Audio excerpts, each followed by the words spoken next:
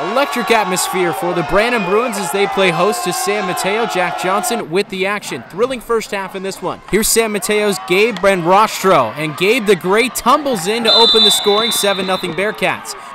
Two possessions later, Will Augenstein is starting to cook. He zigs, everyone else zags, and this game is tied at seven apiece.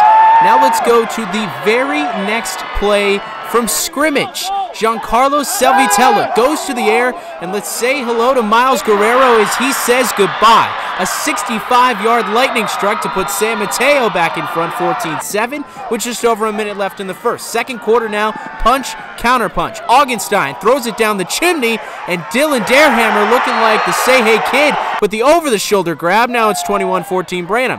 Bearcats ball next, and what a pretty pass from Selvitella. Tosses it like a pair of socks into the hamper to that dude again as Guerrero snags his second touchdown. Last play of an opening half shootout. Look at Augenstein as he extends the play here. Willy football making things happen. Finds sophomore Aden Newberg wide open. It's 27-21 Bruins at the break.